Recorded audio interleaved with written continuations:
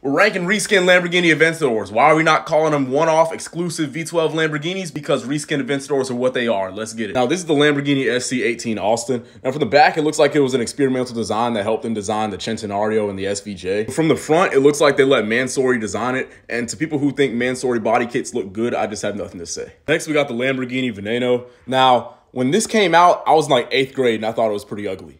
Now I think it's fucking ugly. Next we got the Lamborghini Sián, and a lot of people think this car looks good. A lot of people think it's cool. I think it's cooler than the Veneno, but me personally, I just can't find a good looking angle of this car. And it looks even worse from the back. Like these taillights look terrible, and the design overall just looks like it was designed by like Nimrod or somebody. Now, the SC20 along with the SC18 Alston, I forgot existed, but it looks like an Aventador J with a body kit. It doesn't look as good as an Aventador J, but it's a topless Aventador. You can't be mad at it. Now, this car has gotten a lot of hate because it's not the same as an original Countach, and most of the people saying that don't actually know what an original Countach is like. I don't either, but from people that have driven it, they say it's not practical at all, and that's why it's so enjoyable. I imagine being based off of an Aventador with a hybrid powertrain, you're gonna have a lot more practicality.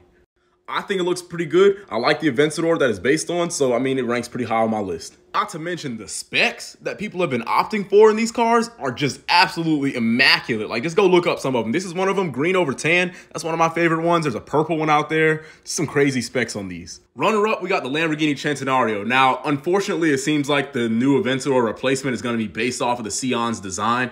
I think it should have been based off of the Centenario. This just looks incredible. It looks like a better looking Aventador if you ask me. There's nothing technologically impressive about this, no hybrid powertrain, just a tuned Aventador with a body kit, and the body kit looks damn good. Not to mention people started putting exhausts on these, and oh my god. Last and certainly not least, we got the Essenza SCV12. This car sounds incredible. If you thought a Gentani Centenario sounds good, this car right here sounds like that times 10. I'm almost convinced that this is not even the same engine as in the Aventador.